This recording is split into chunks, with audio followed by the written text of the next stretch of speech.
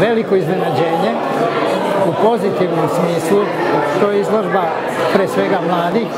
To pokazuje da u ovoj sredini ima i nekoliko stranaca tu, ali da u ovoj sredini mogu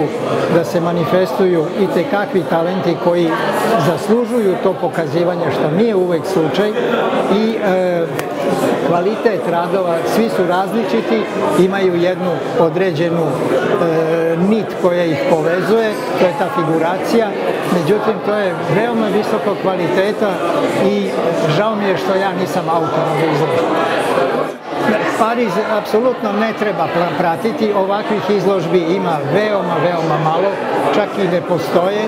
i čini mi se da ovakav skup individua, individualnosti, originalnosti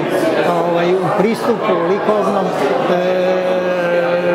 svetu koji ti mladi ljudi imaju je nešto što se veoma teško nalazi tamo u Parizu, a kaže vam to je jedna izložba koja može da se prenese u bilo koji prostor u Evropi, a i dalje. Tako da, dobro, čujem da bi trebalo to da ide i u, Rumuniju, u Bukurešt, tako da bi to možda mogao neki put da bude prema još nekim centrima koji su tamo malo zapadnije apsolutno napreduju, veoma su radni, bez rada nema apsolutno nikakvog rezultata, tako da ovaj, pratim, naravno pratim i dalje ću da ih pratim i dalje ću da ih grdim ako ne rade,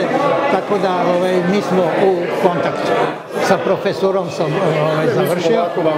da, ali ovaj, imam kontakte sa mladima, sa bivšim studentima, sa ovim koji dolaze tek da me vide van akademije, van, van ove, da, Parijske akademije, tako da tu aktivnost ne u onom obimu i obliku koju sam praktikovao tamo kad sam bio u službi, ali ovaj, nastavljam da sarađujem, da se dogovaramo, da na neki način imamo taj kontakt, a to i meni isto pomaže da se malo održim i ja na nogama, što je ipak potrebno.